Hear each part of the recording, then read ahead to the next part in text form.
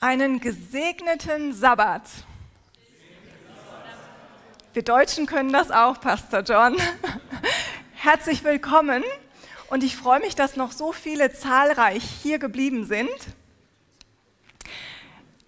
Ich möchte euch in die Adventgeschichte mitnehmen, bevor wir in die Offenbarung gehen. Denn ich glaube, dass die Adventgeschichte ziemlich viel mit der Offenbarung zu tun hat. Und ihr werdet mir bestimmt gleich recht geben. Also, es ist der 17.10.1888. 90 Delegierte treffen sich in einer Stadt in Amerika, die Minneapolis heißt. Ihr kennt die Geschichte wahrscheinlich, wir sind gute Adventisten, wir kennen unsere adventistische Geschichte. Und was dort Brüder machen, ist vielleicht adventistisch, aber nicht wirklich christlich, oder? Im Vorfeld gab es schon öffentliche Debatten. Die einen haben in der Science of the Times geschrieben, die anderen im Review and Herald und es gab eine öffentliche Schlammschlacht. Ellen White, die in dieser Zeit in Europa war, hat die Brüder dafür gerügt. Man hat sich die Köpfe darüber eingeschlagen, was wohl das Gesetz im Galaterbrief ist. Das Moralische, das Zeremonielle. Und eigentlich hat Ellen White gesagt, es ist doch gar nicht so wichtig, aber trotzdem haben die Geschwister für ihr Recht gekämpft. Und Ellen White sagt, dass es einer der schlimmsten Momente in der Geschichte der Adventgemeinde wäre. Und nicht nur im Sinne der Adventgemeinde, sondern sie sagt auch, ich bin noch nie so schlecht wie auf dieser Konferenz behandelt worden. Leitende Brüder haben sich gegen zwei Prediger gestellt. A.T. Jones und E.G. Wegener haben die Botschaft gebracht über die Gerechtigkeit aus dem Glauben. Und gerade die alteingesessenen Geschwister sind dagegen angegangen. Ellen White hat sich hinter diese beiden Brüder gestellt. Und sie sagt, es ist so traurig, weil aufgrund dessen, was die leitenden Brüder gemacht haben, haben die Delegierten diese wichtige Botschaft nicht angenommen. Im Nachhinein ist es aber so gewesen, dass Ellen White mit den beiden durch Amerika getourt ist und diese Botschaft den Gemeinden gebracht hat. Und die Menschen haben sich bekehrt und sie haben diese Botschaft angenommen. Aber dann, dann ist etwas passiert, was Ellen White nicht gedacht hätte. Sie bekommt einen Aufruf 1891 nach Australien zu gehen. Irgendwie hat sie nichts von Gott gehört. Normalerweise sagt Gott, geh, aber in dem Fall nicht. Und sie hat überlegt, was mache ich? Soll ich wirklich gehen? Das Werk, was gerade hier begonnen hat, soll ich das einfach hinter mir lassen? Es entsteht gerade eine Bewegung und alle nehmen diese wichtige Botschaft an aber sie geht. Und es gibt böse Stimmen, die sagen, dass der Prophet Gottes aufgrund ihres Handelns verbannt wurde. Heute möchte ich euch zu einem anderen Propheten Gottes bringen. Ein anderer Prophet Gottes, der vor langer, langer Zeit gelebt hat. Er hat in Ephesus gelebt. Wer von euch kennt Ephesus? Okay, ihr kennt die Türkei. Das freut mich. Ihr habt schon gehört, ich komme aus der Türkei. Ja, also Ephes heißt es auf Türkisch, Ephesus sagen wir es auf Latein. Und er wurde aufgrund des Wortes wegen auf eine Strafkolonie gebracht. Auf einer Insel. Patmos heißt sie. Jetzt frage ich euch, wer von euch war schon mal auf Patmos? Okay, doch noch einige. Das sind die Übrigen der Übrigen. Ja? Also ihr wart auf Patmos. Ich wollte dieses Jahr auf Patmos etwas besichtigen und wisst ihr, was passiert ist? Die See war so schlecht, dass unser Boot nicht rübergehen konnte. Und wie muss es wohl in der früheren Zeit gewesen sein? Also der Prophet Gottes ist dort und er ist eigentlich der Leiter der Gemeinde. Er ist dort und überlegt, was geschieht mit meiner Gemeinde, während ich hier auf Patmos bin.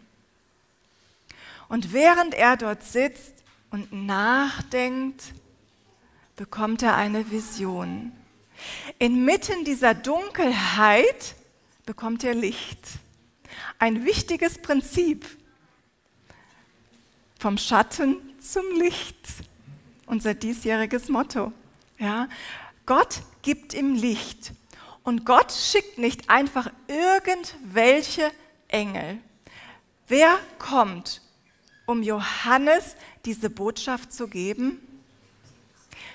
Er hört etwas, dreht sich um und sieht plötzlich jemanden, der eines Menschensohnes gleich ist.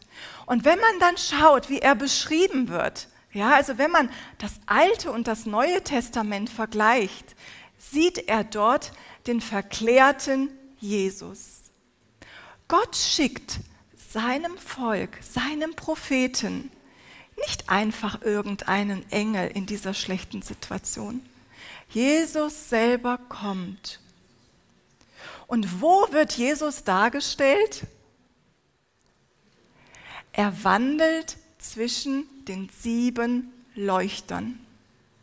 Nun, wir haben von Martin gelernt, Sacra Scriptura suis ipsius interpres. Hört sich total klug an, oder?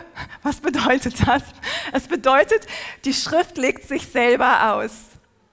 Und während die Schrift sich selber auslegt, ja, dann ist es so, wartet, das solltet ihr jetzt eigentlich nicht sehen, das ist aber, was ich schon erwartet habe. Ich kenne diese Sachen.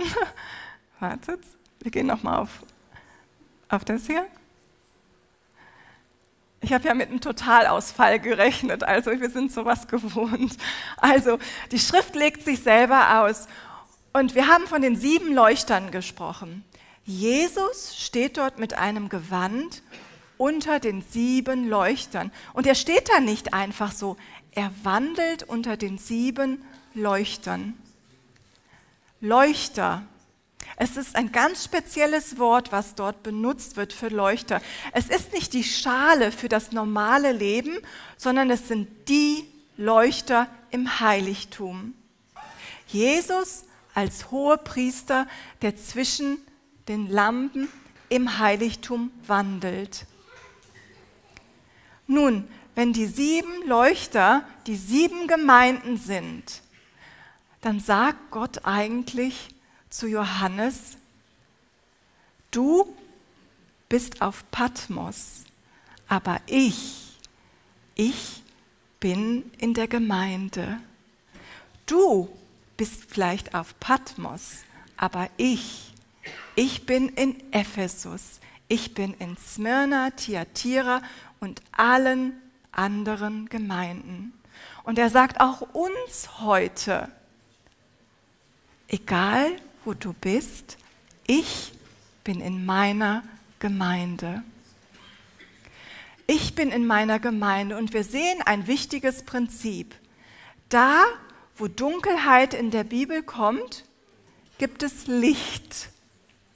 Gottes Licht und er ist in der Lage, jede Dunkelheit zu erleuchten. Das sehen wir auch ganz am Anfang der Bibel. Wenn wir zum Anfang zurückkehren, ist es so, dass es den Fall gegeben hat. Den Fall auf dieser Erde. Und es ist so, dass als die Sünde auf diese Welt gekommen ist, Gott die gefallene Menschheit nicht alleine lässt. Er gibt ihnen ein Evangelium. Das erste Evangelium steht in 1. Mose 3,15. Ihr seht, für diejenigen, die hier schon gewesen sind, seit Beginn des Ganzen, wir wiederholen und wir wiederholen und vertiefen ein anderes biblisches Prinzip. Also dort sagt Gott voraus, dass es eine Feindschaft geben wird zwischen der Schlange und der Frau, zwischen den Samen der Schlange, aber auch zwischen der Frau und ihrem Samen. Ja, also die Frau hat einen Samen und der kämpft gegen die Schlange und den Samen. Und diesen roten Faden sehen wir ganz einfach durch die Bibel gehen.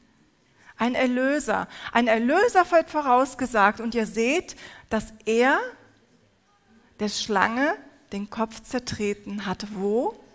Am Kreuze. Sein Sieg ist unser Sieg. Und das, was im ersten Mose vorausgesagt wird, das sehen wir auch in der Offenbarung. Die Zeichen kommen wieder. Die Frau, die Frau wird beschrieben in Offenbarung 12.1 als eine Frau mit der Sonne bekleidet und stehend auf dem Mond. Und sie hat auf dem Haupt eine Krone mit zwölf Sternen.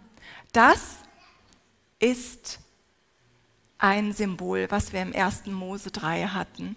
Es gibt aber auch einen Gegenspieler, einen Gegenspieler, der sehr, sehr aktiv ist. Und wir sehen, es ist der Drache. Der hatte sieben Köpfe, zehn Hörner und auf seinen Köpfen sieben Kronen. Er wird als sehr, sehr mächtig dargestellt. Aber egal, wie er dargestellt wird, Gott ist mächtiger. Nun, es gibt einen kosmischen Kampf und wir sehen, dass der Drache, der auf die Erde geworfen war, die Frau verfolgt, die den Knaben geboren hat. Aber es bleibt nicht nur bei der Frau, ja? Wir werden das später sehen. Und wir sehen, dass der Drache sehr zornig wurde über die Frau und hinging, um Krieg zu führen mit den übrigen von ihrem Samen.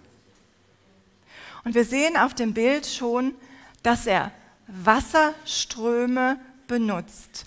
Wenn wir in das Buch Jesaja gehen, sehen wir, dass das ein Bildnis ist für den König von Assyrien, der wie ein Strom hinwegfegt und Juda mit sich reißt. Es sind feindliche Nationen, die Agenten Satans sind. Satan benutzt bestimmte Könige, er benutzt bestimmte Würdenträger und wir werden sehen, wie sich das später in der Geschichte erfüllt. Das ist die schlechte Botschaft. Aber wir haben auch immer eine frohe Botschaft, ein Evangelium. Also wir hatten gesagt, da wo Dunkelheit ist, geht es vom Schatten zum Licht. Nun, Gott schickt das Licht. Und es heißt, und die Erde half der Frau, und die Erde tat ihren Mund auf und verschlang den Strom, den der Drache aus seinem Mund geschleudert hat. Gott greift übernatürlich ein. Er greift übernatürlich ein. Er lässt es nicht einfach so. Und wir sehen hier, er gibt Adlerflügeln. Das ist ein Bildnis aus dem Exodus. Er sagt, wie auf Adlerflügeln habe ich euch rausgetragen. Gott sorgt für einen Ausweg. Nun, wer ist die Erde? Offenbarung 13 erläutert es. Wenn wir Offenbarung 13 kennen und wissen, dass ein Tier aus der Erde kommt und dass dieses Tier Amerika darstellt, wissen wir, dass, das er, dass die Erde Amerika darstellen sollte. Nun, das ist das, was passiert ist. Aber um das zu verstehen, müssen wir weit zurückgehen. Den guten Mann kennt ihr und vor allem seine Frauengeschichten, oder? Henry VIII. Der hatte das Pech gehabt, dass sein Bruder sehr früh gestorben ist und seine Braut dann plötzlich heiraten musste. Katharina von Aragon ist die Tochter von Isabella und Ferdinand von Spanien. Das ist das katholische Powerhouse Europas, einer der mächtigsten Könighäuser, erzkatholisch. Und sie geht dann hin und muss diesen Mann heiraten.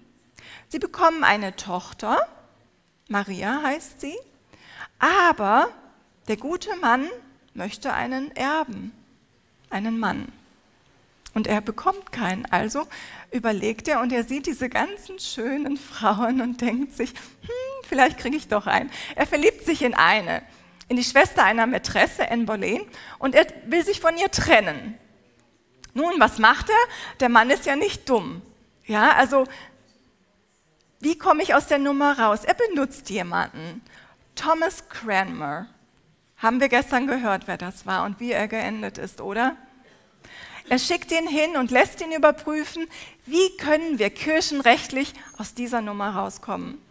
Nun, er geht an die ganzen klugen Universitäten und die sagen, also wenn wir jetzt die Bibel durchforsten, hättest du sie gar nicht heiraten dürfen. Warum? Weil das Buch Levitikus das verbietet. Also ist diese Ehe gar nicht rechtsgültig. Naja, die trennen sich und 1533 wird die Hochzeit durch ein Gericht annulliert. Der Papst stimmt ihm gar nicht zu. Ja, und er schreibt immer wieder und sagt, bitte, bitte, mach das doch, dass das rückgängig gemacht wird.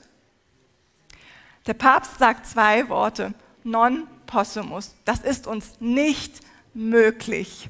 Warum? Karl V. hat den Papst unter Kontrolle. Also wenn er diese Ehe auflösen würde, der Tante Karl V. würde der Papst in eine Bredouille kommen. Und wahrscheinlich ist diese Verwandtschaft zu Karl das, was ihr das Leben gerettet hat.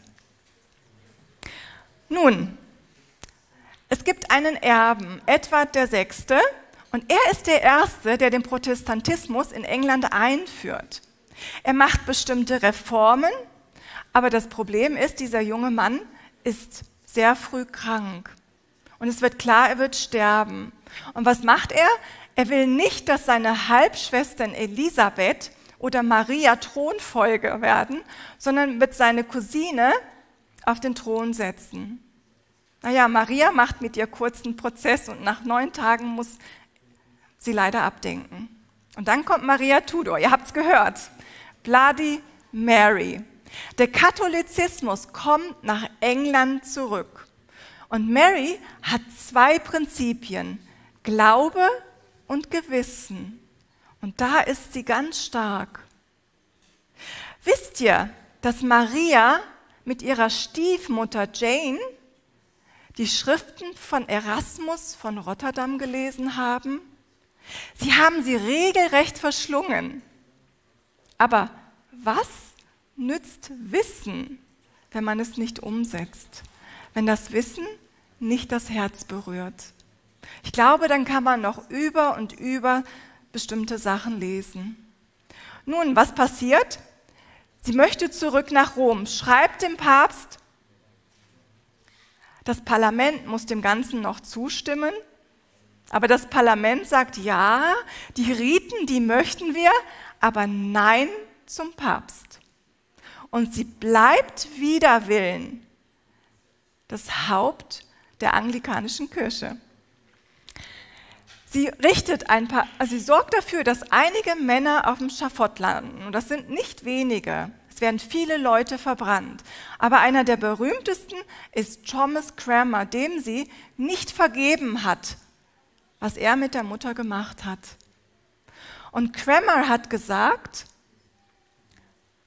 als er widerrufen wollte, dann hat er erstmal angefangen.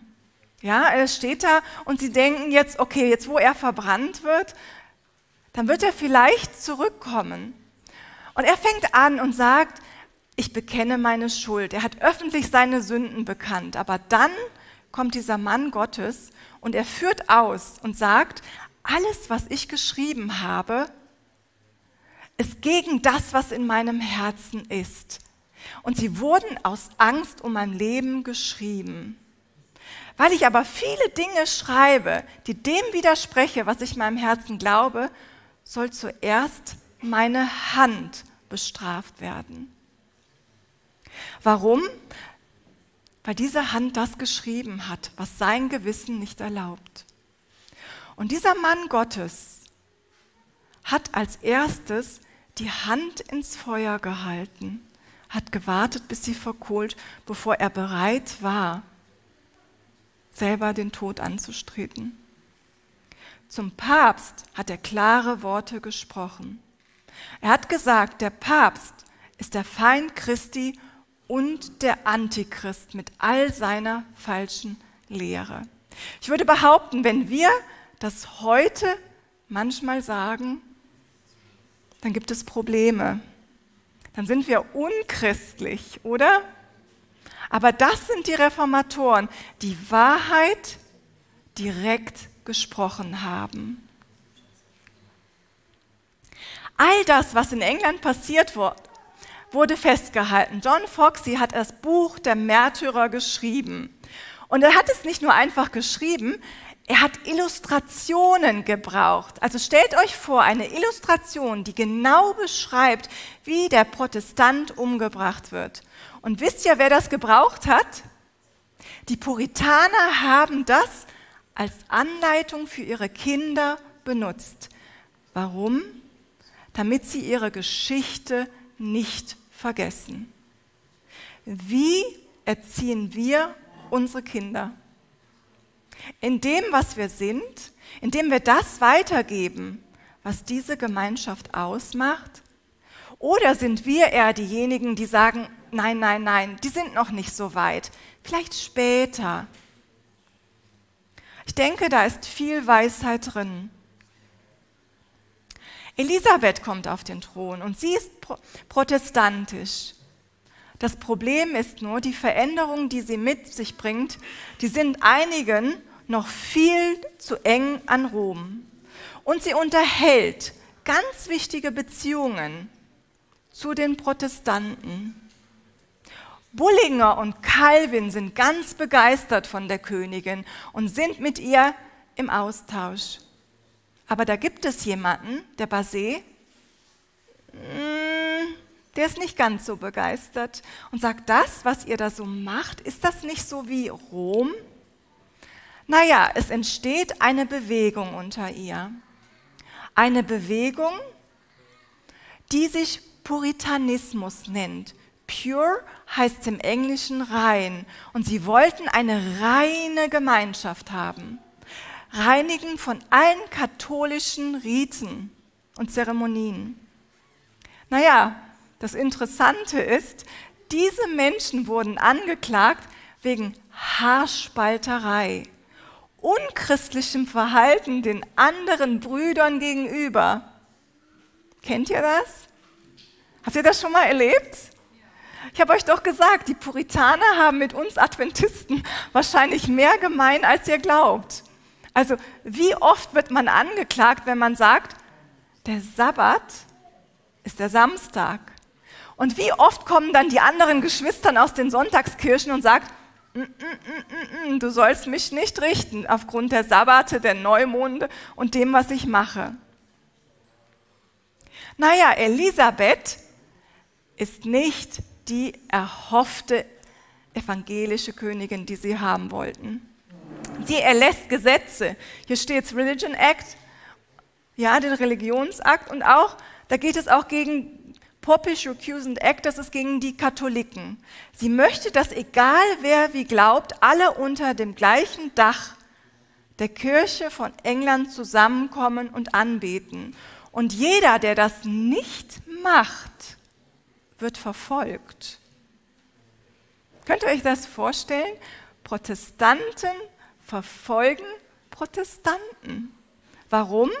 Weil die nicht bereit sind, genauso zu denken wie die Staatskirche. Es gibt Verfolgungen.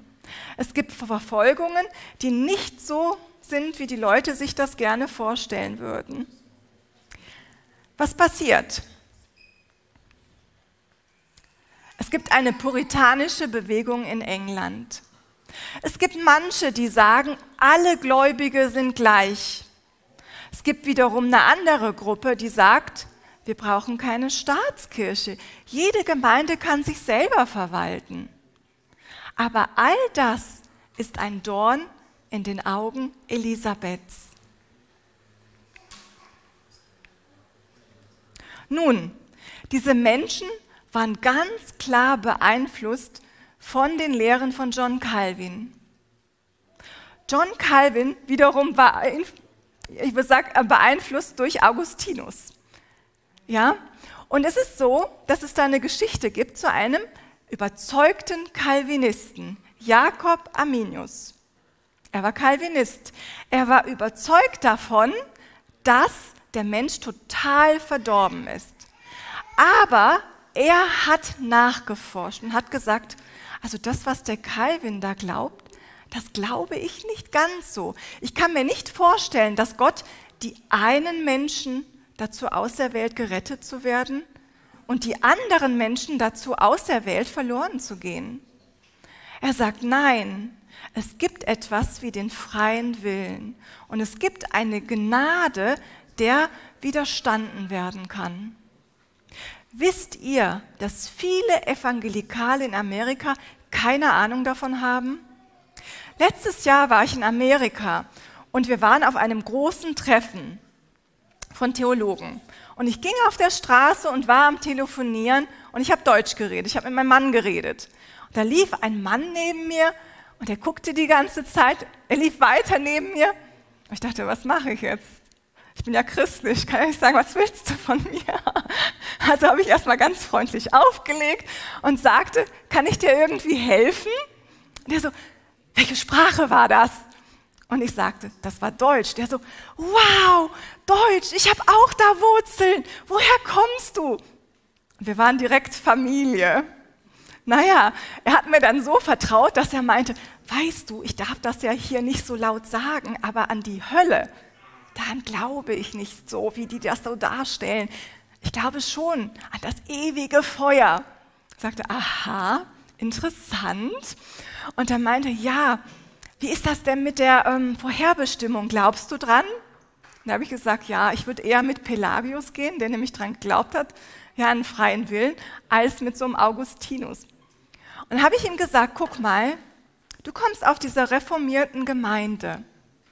Du glaubst das, was sie dir vorgeben. Aber hast du nicht einen Kopf, um selber nachzudenken? Und da hat er ganz doof geguckt. Und dann habe ich gesagt, guck mal, in der Bibel steht das, das und das. Was sagst du dazu? Wir sind ja Beroianer. Wir müssen ja prüfen. Und dann sagte er, ja, hm, ich weiß nicht, aber ich glaube das so. Da habe ich gesagt, okay. Und ich sagte dann wieder, es steht geschrieben. Und er sagte, ja, hm, habe ich mir nicht so Gedanken drüber gemacht, aber ich glaube das so. Und dann habe ich gesagt, guck mal, es gibt einen, der kommt aus der gleichen Ecke. Aber er hat nicht eins zu eins geschluckt, was man ihm übergeben hat. Er hat selber nachgedacht und er hat in der Schrift geforscht. Und er ist hingegangen und hat diese Bibelweisheiten für sich selbst durchgesucht. Und er ist zu einer Erkenntnis gekommen, die nicht der Calvin entsprochen haben. Wie ist das heute bei uns im Adventismus? Studieren wir selber? Sind wir, wir, die Menschen der Schrift? Oder sagen wir, als es steht geschrieben, Bruder so und so hat gesagt, Prediger so und so hat gesagt. Oder sind wir selber in der Lage, die biblischen Wahrheiten weiterzugeben? Es ist bequem, alles nachzusprechen. Aber das macht keinen Bibelchristen aus. Wir sind bekannt geworden dafür, dass wir bei religiösen Fragen uns hingesetzt haben und studiert haben. Und die Reformatoren haben das auch gemacht. Und ein Jakobus Arminius hat aus eigenen Reihen Gegenwind bekommen. Ja, die waren nicht happy mit dem, was er gesagt hat. Er ist trotzdem aufgestanden und hat es gesagt. Hier seht ihr nochmal, vielleicht könnt ihr euch noch schnell ein Foto machen. Da sind die Unterschiede auf der einen Seite zwischen Calvin und Jakobus Arminius. Da seht ihr auf der einen Seite, was die meisten heutigen Protestanten glauben. Also ich habe immer ein Problem dazu, wenn wir sagen, wir sind auch Protestanten. Weil wer wird in der Endzeit Amerika die Hand reichen? Wer wird das machen? Ist es der Katholizismus? Der abgefallene Protestantismus? Ja, also Wir sind ein auserwähltes Volk und Gott hat diese Gemeinde gegründet mit einer Mission, mit der Mission dieser Welt eine Botschaft zu bringen, die keine andere Gemeinde hat.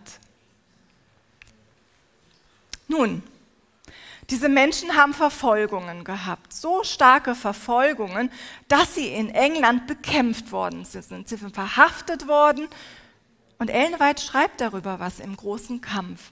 Sie sagt, Gott hat Prüfungen über sein Volk kommen lassen, um es auf die Erfüllung seiner Gnadenabsichten vorzubereiten. Die Gemeinde war erniedrigt worden. Ja, was bedeutet das? Die Gemeinde war erniedrigt worden. Das sieht aus, als würde die Gemeinde fallen, oder? Oder kaputt gehen. Nein. Ja, sie wird erniedrigt, damit Gott sie erhöhen kann. Und Gott stand im Begriff, seine Macht zu ihren Gunsten zu entfalten und der Welt einen neuen Beweis zu geben, dass er sie nicht verlassen wird, die ihm zutrauen.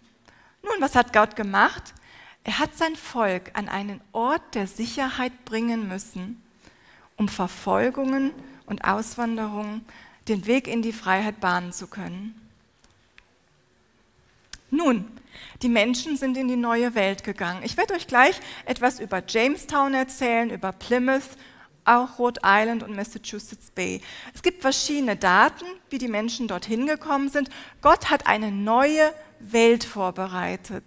Eine neue Welt mit gewissen Herausforderungen. Also ganz so einfach ist es nicht gelaufen.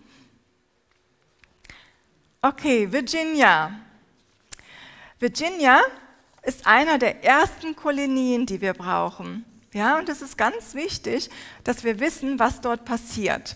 Und zwar 1584 bekommt ein bestimmter Legat von Elisabeth die Agenda, Neuengland zu kolonisieren. Warum? Weil die Spanier unten ganz viel erobern sind und man musste was dagegen machen. Was passiert? 1585 und 1587 gibt es zwei Versuche.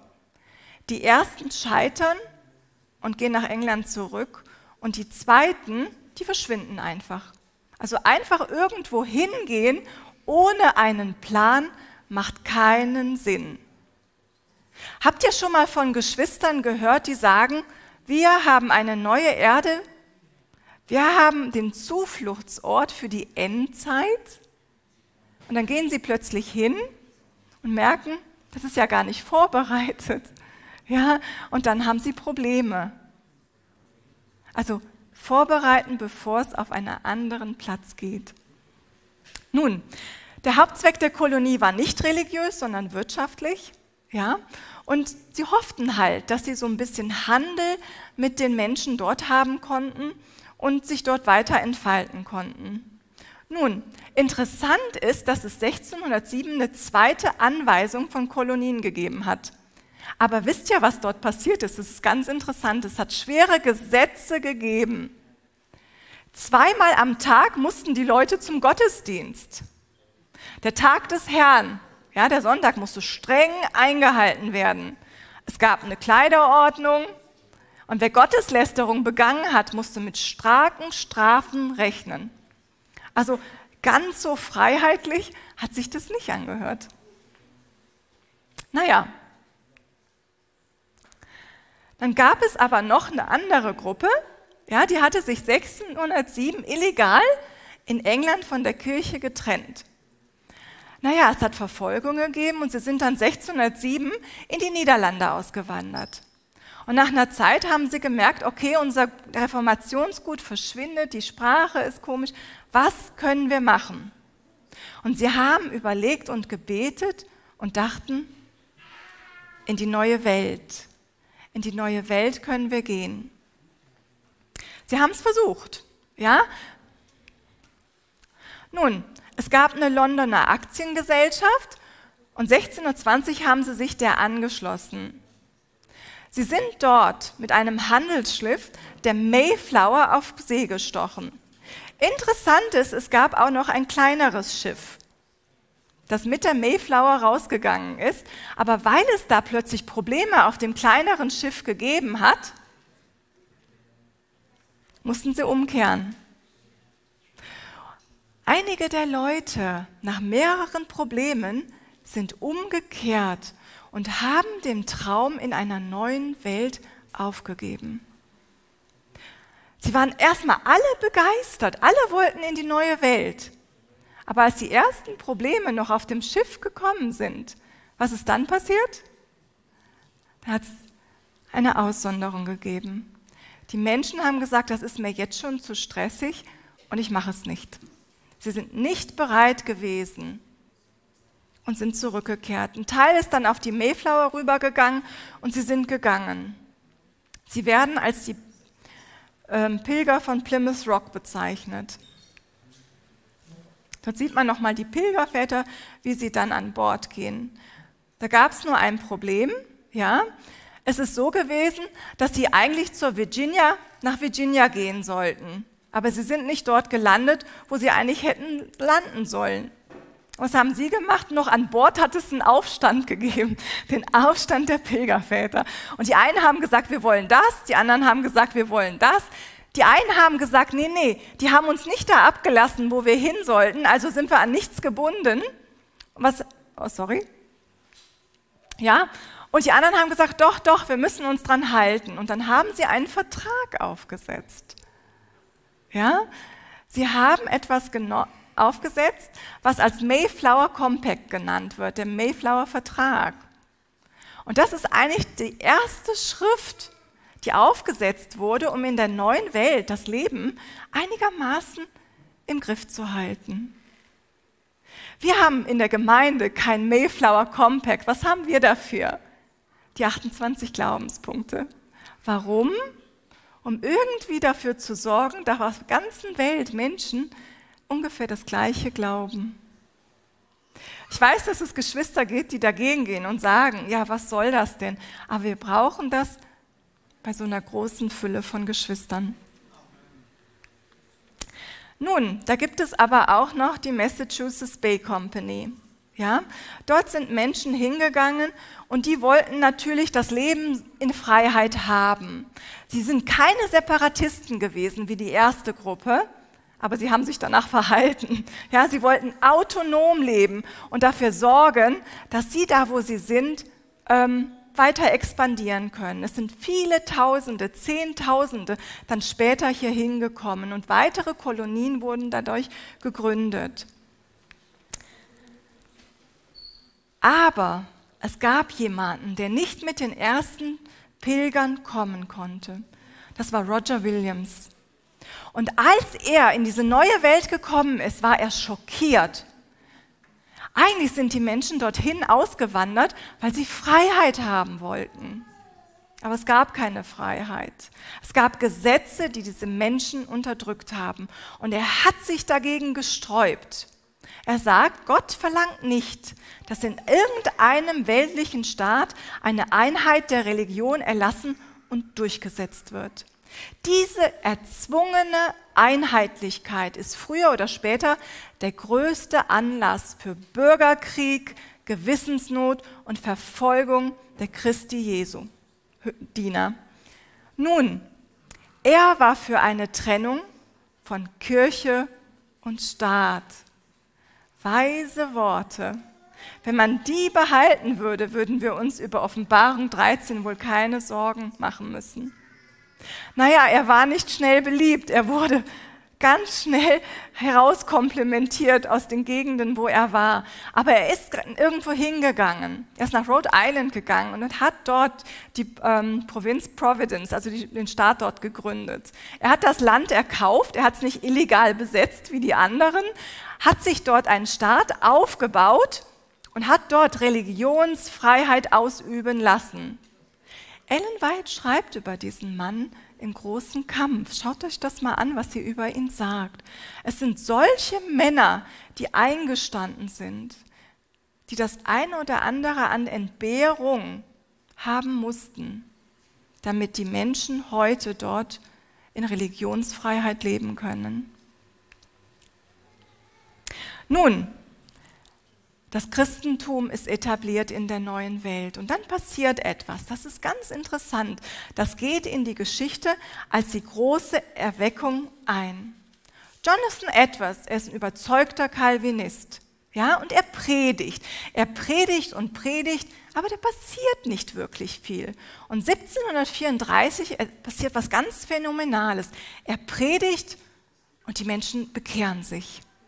Und nicht nur da, wo er ist, sondern das geht wie ein Lauffeuer um.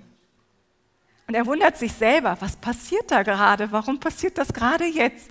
Und was er gepredigt hat, ist, dass Menschen erkennen sollen, dass sie Sünder sind, dass sie Reue über diese Sünden haben sollen und sich zu Jesus Christus bekehren sollen.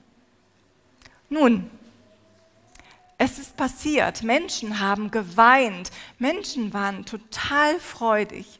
Aber den großen Aufwind kriegt die Erweckung eigentlich dann, als dieser Mann auf die Bühne tritt. Es ist George Whitfield. Manche sagen, er ist ein Theaterschauspieler auf der Bühne und er kommt und er macht und die Menschen sind begeistert. Ja? Edwards ladet ihn ein. Und es heißt, es steht so geschrieben, ja?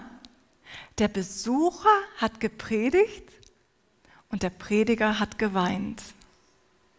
Menschen haben sich bekehrt. Es hat eine Erweckung stattgefunden, die wie ein Lauffeuer umhergegangen ist.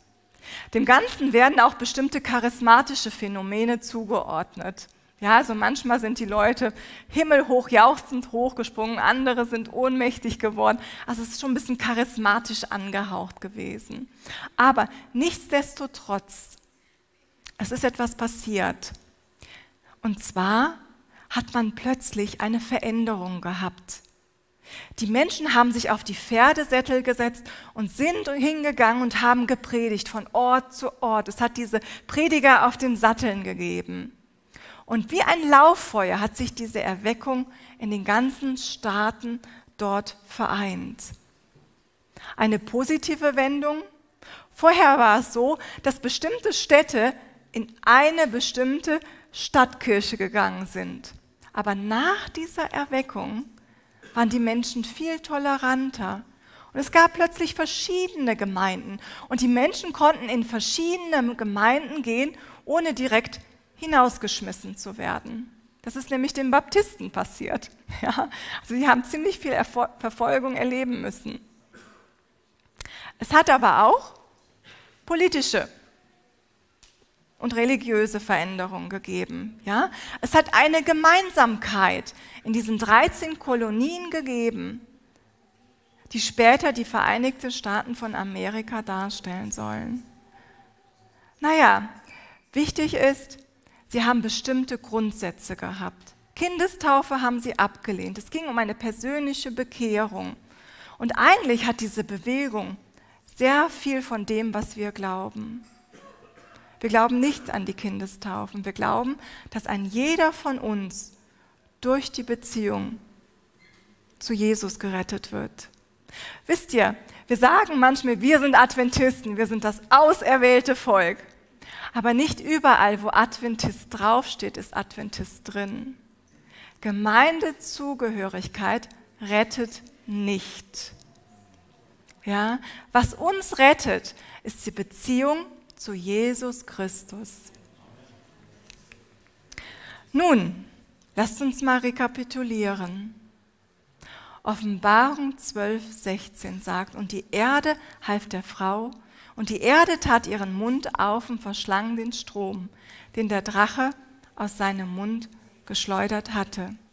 Wir haben gesehen, wie die Puritaner, die eigentlich ein reines Evangelium sich gewünscht haben, verfolgt worden sind, getötet worden sind und Gott übernatürlich eingegriffen hat. Er hat übernatürlich eingegriffen. Wenn wir sagen, Gott ist immer der gleiche, bedeutet das, er macht das auch noch heute. Ja? Er wird das auch für uns machen. Viele haben vor der Endzeit Angst. Also viele Geschwister, wenn man sagt, ja, Offenbarung 13 kommt, dann hat man Angst. Warum? weil wir ungewiss ist, was kommen wird. Die Sachen, die vorausgesagt worden sind, die hören sich schon ganz schön gruselig an. Naja, aber wir wissen, dass Jesus in der Endzeit mit uns ist. Er ist derjenige, der bei seinem Volk sein wird. Und Ellen sagt, dass die Offenbarung sehr wichtig für uns ist. Sie sagt, die unerfüllten Vorhersagen des Buches der Offenbarung werden bald erfüllt werden. Diese Prophezeiung sollte von Gottes Volk fleißig studiert werden. Studieren wir die Offenbarung? Also ich weiß nicht, wie es euch geht. Meistens ist es ja so, wenn jemand jemanden auf der Straße trifft und sagt, ja, Endzeitereignisse, was hat sich denn schon erfüllt, was nicht, dann sagt man, ja, ja, wir sind so bei Offenbarung 13 und dann sagen die, ja, erklär mir doch mal, was da steht, was bedeutet das, wie kommst du drauf?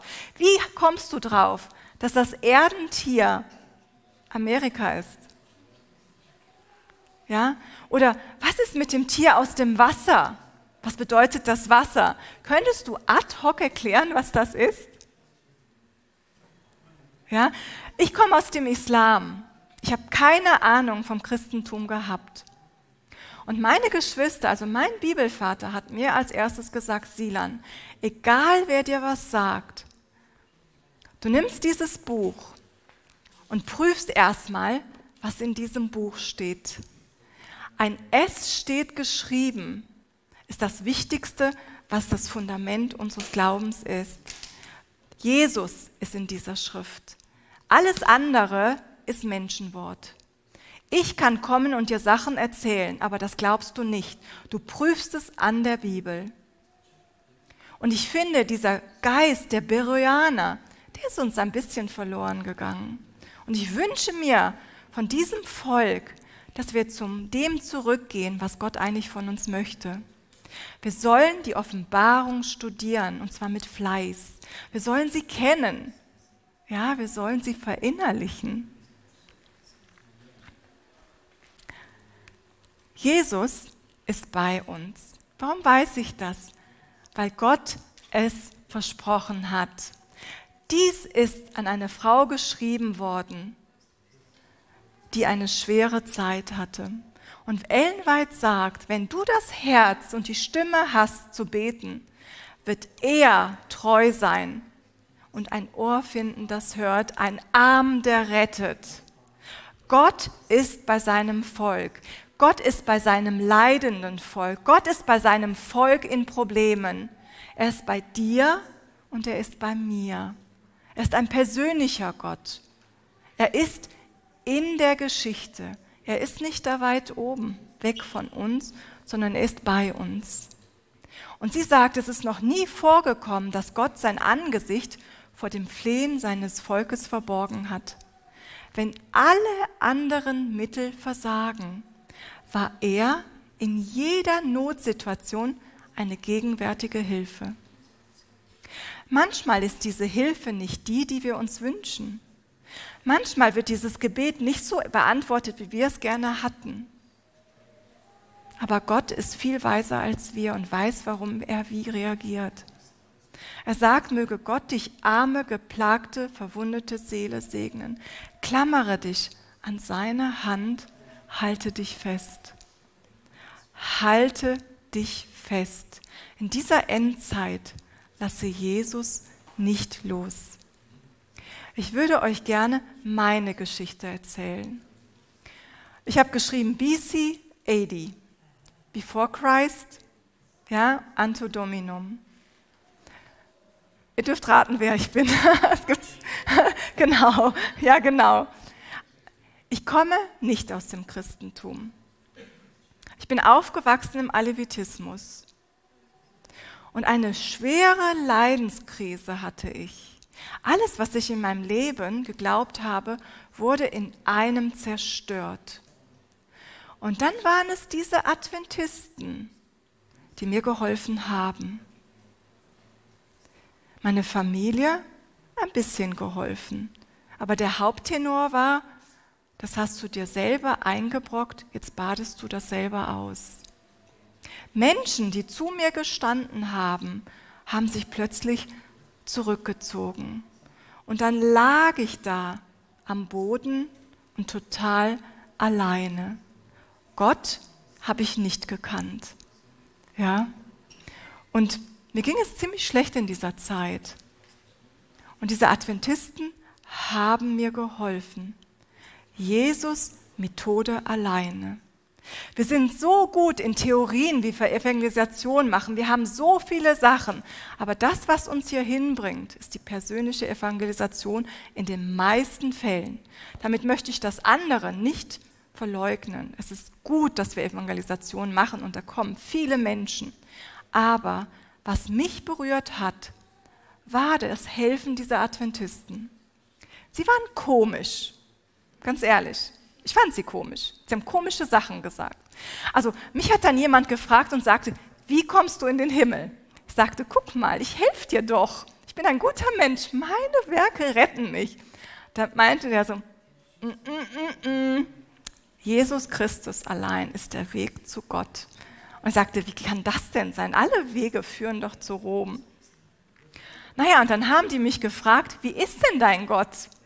Und ich so, woher soll ich das wissen? Er ist da oben, ich bin hier unten. Und die fingen an, eins nach dem anderen aufzuzählen. Ich dachte, woher weiß der das? Ich habe mich so geärgert, ja, richtig geärgert. Und die haben mich herausgefordert, ja. Aber hätten sie das nicht gemacht, hätten sie zuckerweiche Botschaften gebracht, wäre ich heute nicht hier. Und ich erinnere mich dran, dass ich da war und gesagt habe, Gott, wer hat denn jetzt die Wahrheit? Diese komischen Adventisten oder wir, die wir aus der Blutlinie Mohammeds kommen, die wir rein sind? Wenn die die Wahrheit haben, musst du was Unmögliches möglich machen. Naja, Gott hat dieses Gebet erhört, nicht lange. Und dann war es so, dass ich zu Freunden gefahren bin und um dort anzukommen, musste man durch eine Toreinfahrt gehen. Ich habe natürlich geklingelt, keiner hat aufgemacht. Und ich saß da in meinem Auto und warte, dass diese Toreinfahrt aufgeht und ich reinfahren kann. Naja, dann habe ich angerufen, weil ich jetzt ungeduldig wurde. Aber da ist auch keiner rangegangen. Und ich war total erschöpft. Ich wusste nicht mehr, was ich machen soll, weil ich konnte nicht mehr nach Hause. Ich habe keine Kraft mehr gehabt. Aber rein konnte ich auch nicht. Ein Engpass. Und dann, dann kam da so eine kleine Stimme, die sagte, Silan, weißt du noch, was dieser Adventist zu dir gesagt hat? Er hat nämlich zu mir gesagt, wenn du in einer Sackgasse bist, dann bete zu Jesus. Wenn dein Gott dich nicht erhört, dann bete zu Jesus. Er ist für dich gestorben und er wird dich erhöhen.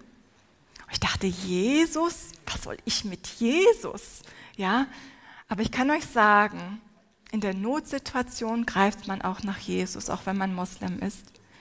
Und ich war mit dem Kopf auf diesem Lenkrad und ich sagte, okay Jesus, wenn du Gott bist, wenn du mich wirklich liebst, dann öffne dieses Tor, lass mich hineinfahren, damit ich endlich Ruhe finde.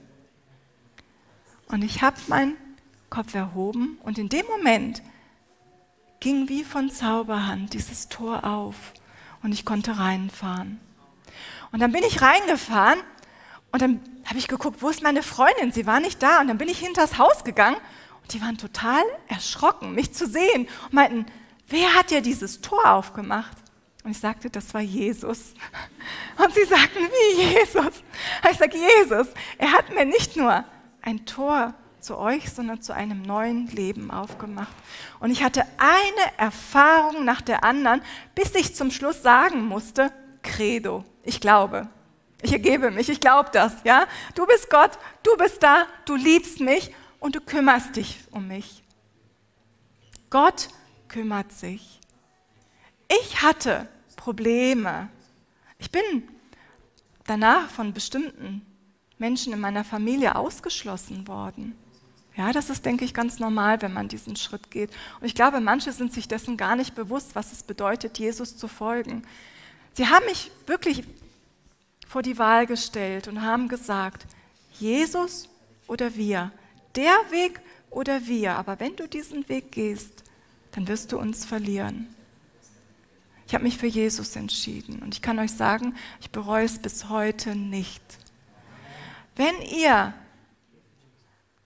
vor die Wahl gestellt wird, dann entscheidet euch nicht für diese Welt, sondern entscheidet euch für den, der diese Welt gemacht hat.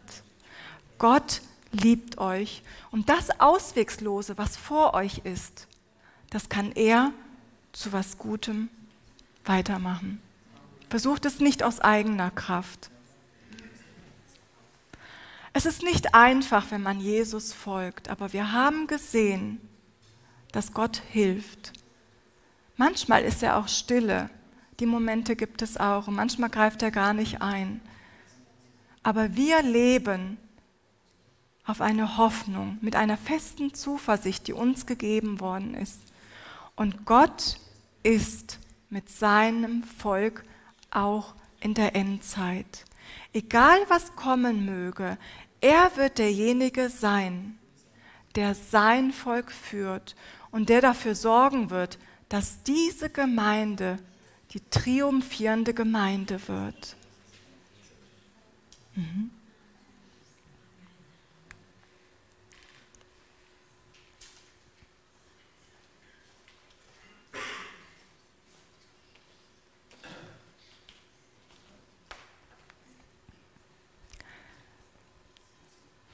Ich möchte heute auch zu euch sprechen. Ihr habt gesehen, wie Gott durch die Erde geholfen hat, wie er eingegriffen hat in diese Weltgeschichte. Und ich möchte euch fragen, wie ist es mit euch? Habt ihr Situationen erlebt, wo ihr des Wortes wegen verfolgt worden seid, wo ihr vielleicht ausgeschlossen worden seid? oder wo ihr einfach einen Unglauben hattet und wo Gott gesagt hat, geh, wo du gesagt hast, nein, ich kann nicht. Das ist mir zu ungewiss. Ich gehe lieber zurück. Oder ist es einfach so, dass du aufgrund der ganzen Probleme, dort waren es Verfolgungen, aber ich nenne es heute Probleme, dass du den Blick zu Jesus verloren hast dass du diese Zuversicht verloren hast, dass er bei dir ist, dass er an deiner Seite ist. Wie sieht es bei euch aus? Seid ihr bereit für das, was kommt? Werdet ihr heute bereit, wenn wir heute alle einschlafen würden, vor Gott zu stehen? Ich möchte euch fragen, mal in euer Herz zu schauen. Wenn da irgendetwas ist, was zwischen dir und Gott steht, dann ist heute der Zeitpunkt, um es wegzutun. Der Heilige Geist spricht und sagt, heute, heute, wenn ihr meine Stimme hört, dann verstockt euer Herz nicht. Gott möchte kommen, er möchte sehr bald kommen, aber sein Volk müsst dafür bereit sein.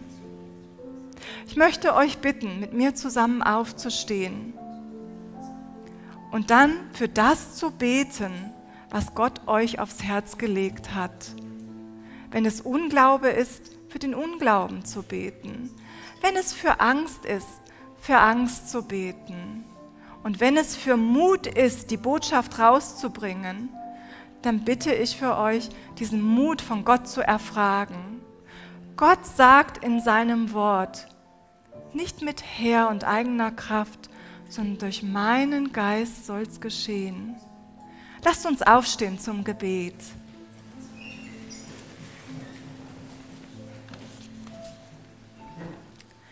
Lieber Heiland, groß bist du und groß ist deine Stärke.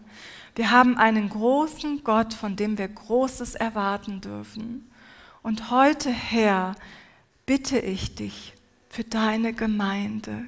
Ich möchte dich bitten, dass du unsere Herzen berührst, dass du uns veränderst, dass du uns das Herz, den Geist gibst, den wir brauchen, um rauszugehen und dein Werk zu verändern.